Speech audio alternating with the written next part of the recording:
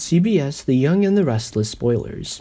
As we know, sooner or later the secret of the person behind this will come out. Chelsea will be imprisoned, then Rey knows that he has been cheated because the evidence is just too good. If Chelsea were caught, the writers would come to a crossroads for the character and her future. Will she be released, or will she go to jail, leaving Young and the Restless?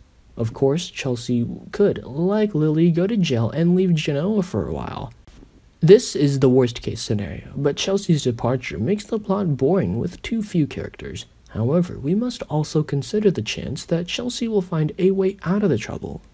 But under what circumstances will Chelsea stay? Chelsea will be pardoned if Rey withdraws this charge. He and Chelsea will agree to compensate for a certain amount. Then the court will ignore this.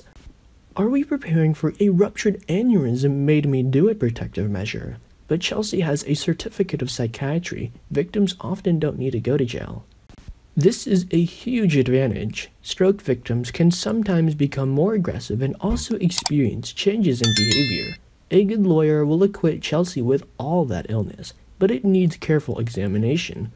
JT Hellstrom was given a brain tumor to account for her violent behavior, so it may be Chelsea's turn to quickly remedy the long term consequences of a ruptured brain aneurysm and stroke.